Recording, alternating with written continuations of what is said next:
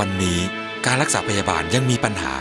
โรงพยาบาลยังขาดแคลนยาที่มีคุณภาพและหมอ อภิสิทธิ์เวชชาชีวะจะจัดให้มีการรักษาพยาบาลที่ดีขึ้น ผมจะทำให้พี่น้องคนไทยทุกคนที่มาหาหมอได้ยาดี โดยไม่ต้องเสียค่าใช้จ่าย ผมจะจัดให้มีหมอประจำหมู่บ้าน อสมอประจำครอบครัว และเพิ่มค่าตอบแทนให้หมอ พยาบาล อนามัย และอสมอภิสิทธิ์เวชชาชีวะ และพรรคประชาธิปัตย์ประชาชนต้องมาก่อน